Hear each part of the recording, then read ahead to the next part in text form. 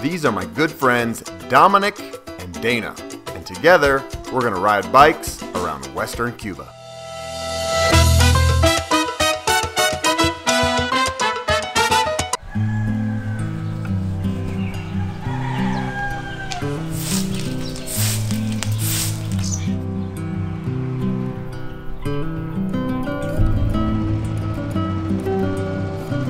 We got up early to get the sunrise shot, but it's covered by all the clouds, and that is worrying us because we're like, uh oh, it might rain all day. We don't know because our cell phones don't work and we can't check the weather.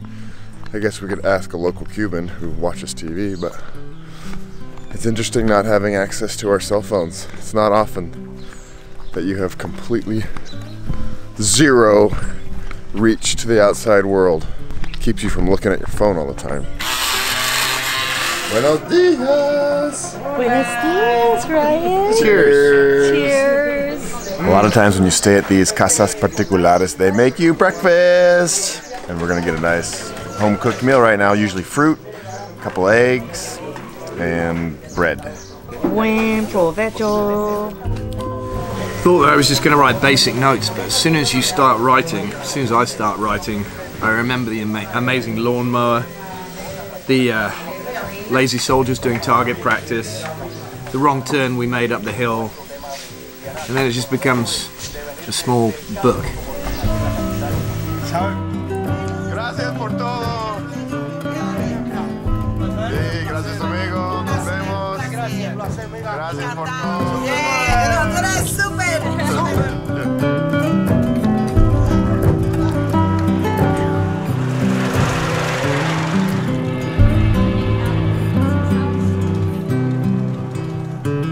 Sun has come out, the city is coming alive, and we are riding that way.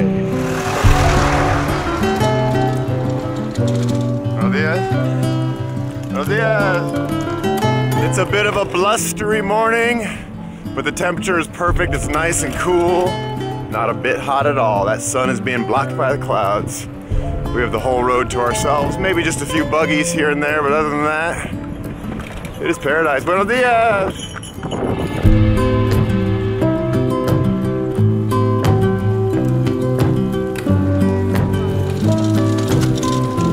love these quiet Cuban roads. So peaceful and even when a car does come by, they're really respectful. They go way around you. They don't go fast. But mostly what we're seeing on the roads is like horse-drawn buggies. Not a whole lot of cars. A few big trucks carrying kids to school. My favorite part is just listening to the wind blow through the palm reeds. It's so pretty.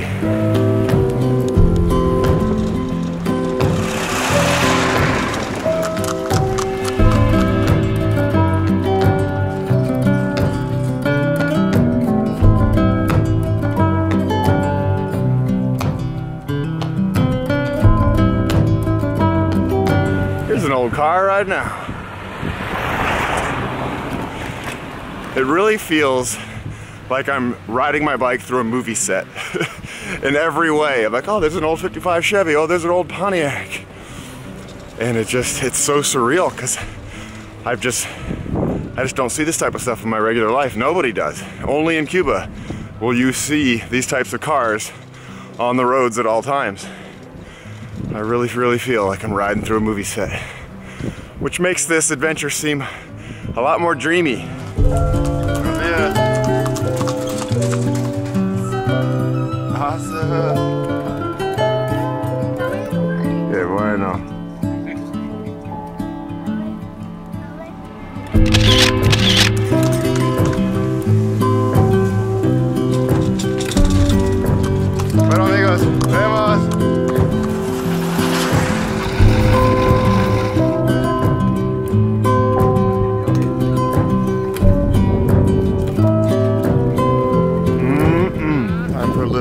Pan con tortilla, which is bread and egg. Cheesy egg bread's my favorite new thing. Eat me. What I'm really enjoying about this bike tour is the relaxed pace. We get to stop, chill out, visit the little villages, eat some pan con tortilla. It's all good.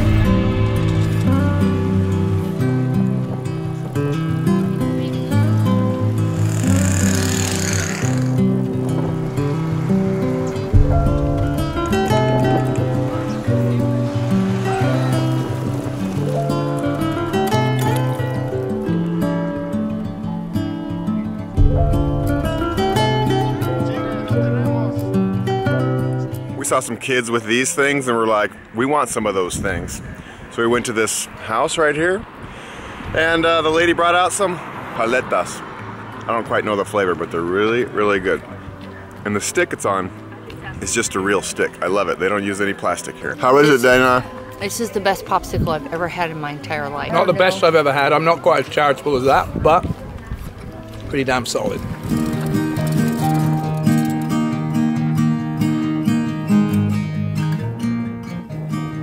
Hola amigos.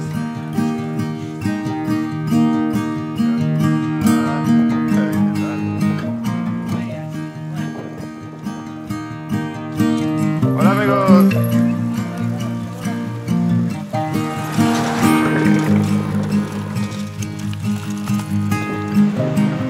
Oh, hello little doggy.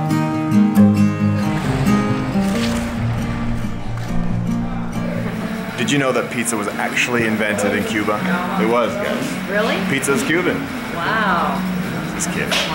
But they cer- certainly sell a lot of it here, and we love it. It's essentially just bread and a little bit of cheese. Not even a lot of cheese. This is not a cheesy pizza, barely any toppings. Sometimes onions, sometimes ham, but after a long day of biking, we have not found a room yet in this town called La Palma, but we have found pizza, and then we rode past this place that has ice cream and popsicles, because those, my friends, are the priorities. One is never enough. We got another one. Visitar el pueblo, dejar las, las Sí, sí, sí, es lo que queremos hacer. Yo me llamo Ryan. Un placer. This room is by far the best room we've had so far. Nice and open and airy. Dana, Ryan, Dom. Looks nice, clean. We might even have hot water. Kitchen, refrigerator.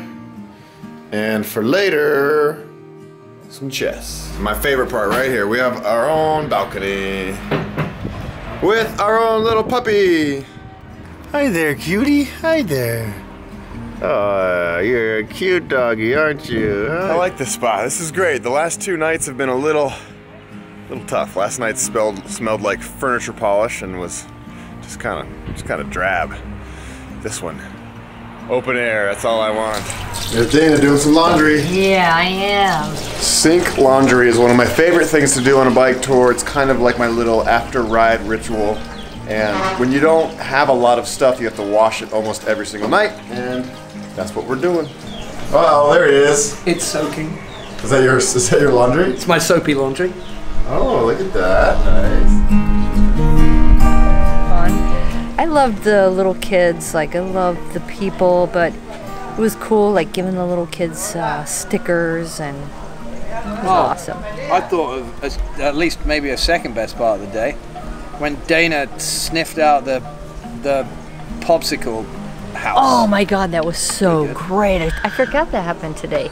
Yeah, I saw these school kids walking with those amazing popsicles, and I don't know a whole lot of Spanish, but I knew enough to point to that and say, Donde?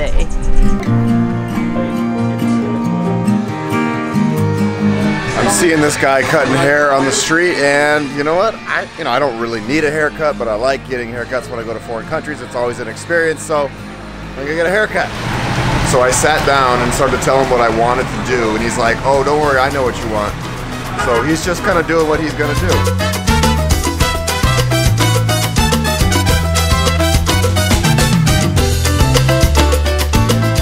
I'm wondering what it looks like though, because Dana's face looks a little worried. Dana. Hello! I want you shorter. I don't really do haircuts for the look of it. I don't really care about style. I just like the experience. And that's what is what is happening right now. This is an experience getting a haircut on the streets of Cuba.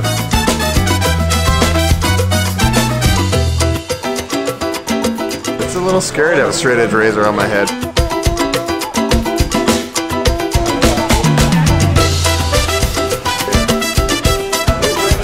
I've never had somebody take so much care into cutting my hair. He has cut everything, even my eyebrows. Cut- he even cut my ear hair. I didn't know I had ear hair, and he stuck the scissors in my ear and you cut whatever was hair. in there. Gracias, amigo. Eso, mira, eso. Gracias, hombre. Wow, I look different. You did your eyebrows. He got my eyebrows. We're gonna have to sunscreen you up. Lots more sunscreen now, but hey, it was a good experience. I got a new friend in Cuba. He's the man. Gracias, amigo. Muy amable. I just looked at my hair for the first time. Whoa, boy. I look like I fit right into the 50s. I look like what my dad looked like. Also, that was the cheapest haircut of my life. It was 10 Cuban pesos. It's about 25 to the dollar. So, less than 50 cents for that haircut. And he seriously took his time on it. He said it was an honor for him to cut my hair. He said, as he was talking to me in super fast Cuban Spanish, he's like, We're all big, one big family. American, Cuban, whatever, doesn't matter. We're all part of the same family. I love it. I love it.